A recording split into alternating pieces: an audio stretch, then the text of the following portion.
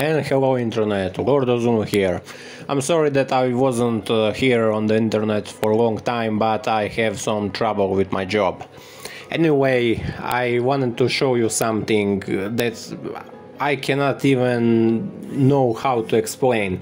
On the internet there is this uh, conspiracy theorist guy. When I saw his video first time I thought well, this must be a troll. There is no way that someone think things like this. But as you can see, he actually believes in those conspiracy that he's talking. He literally claimed how exotic animals don't exist and how that is everything just a one giant conspiracy theory. Today I'm just gonna explain as simply as I can why people make up animals. And it's nothing new way back in the day, if you've ever looked at really old maps that have oceans on it, you'll usually see a few scary ocean monsters drawn on the map.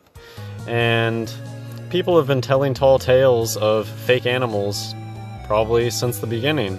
But people back then didn't know actually what is in the ocean, and they even claim how there are islands with uh, weird looking people, which is not true actually. And people still come up with them. I guess chupacabra is pretty pretty recent invention, and it's just nothing new. Chupacabra, got the jackalope. Every area has their own hoax animals. Drop Bear is a double hoax because it's a hoax built on a hoax. Koalas are not real animals. They're just little plushies that people used to build a taxidermy bear and stick it up in a tree, and they tell people that it's an animal. And nowadays it's just a little bit more advanced. They have CGI and animatronics. There's Wolpertinger. It's just nothing new. The platypus, people knew that the platypus was a hoax when they first came out with it. The platypus is so weird that scientists, even the scientists, thought the first specimen was a hoax. And they were right. But there's this whole concept of a big lie. If you tell a lie big enough and keep repeating it, people will eventually come to believe it. And so just like the platypus, the scientists at the time, they knew it was a hoax but they just kept telling the lie over and over and over again, and it's just been adopted, and people just assume it's true. No, platypus are not real. That's one of the biggest animals that they use to try to push evolution.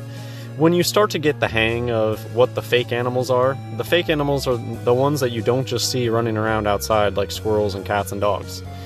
The fake animals are the special ones that you need to see on the TV or at the zoo, and we're going to get into one that you see at the zoo in particular in a second.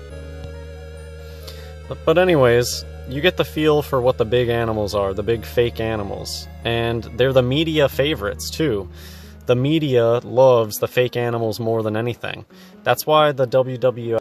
That is not how zoology work, but this is what happens when you spend too much time online. You start thinking how because people make fun with Photoshop, suddenly everything is Photoshop, even real life. Look, koala bears are seen in public many times because in Australia they're on many places. People who live there actually can see them. Uh, it's not like that you can fake wild animal. It's simply not possible for many reasons. Pointing out the simple truth that zebras are painted that way. That's why some of them are so nice. Like these ones are really, really nice. They're not all this good quality. And the thing that you'll notice though, because this is in LA, that's why these ones are really nice. Look at the nose. That's just a regular horse's nose. You can see that they, they don't paint all the way up the nose, probably because it irritates the animal. When they drink water, that, that's probably why, look, that's just a horse's nose. That's a horse. That's not a zebra. So, you know when people are like, are zebras black with white stripes. Are zebras white with black stripes? Uh, neither. They are clearly brown and they've been painted black and white. It's brown. Look at underneath it, it's brown. And a lot of times around the eyes too. It's like you can even see the brown in the hair too.